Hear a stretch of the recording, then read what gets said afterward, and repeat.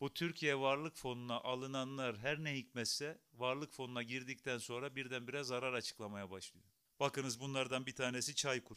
En son 2016'da 82 milyon lira kar açıklamış. Sonra varlık fonuna girmiş. Varlık fonuna girdikten sonra 4 senede toplam 2 milyar 610 milyon lira zarar açıklıyor. Ya varlık fonuna girmeden önce kar ediyordu bu Çaykur.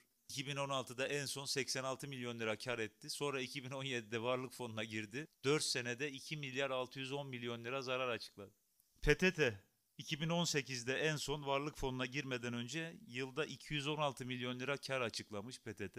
Varlık fonuna girmiş 2021 yılı zararı 387 milyon lira. Ondan sonra da ya Bay Kemal sen bu işlerden anlamazsın.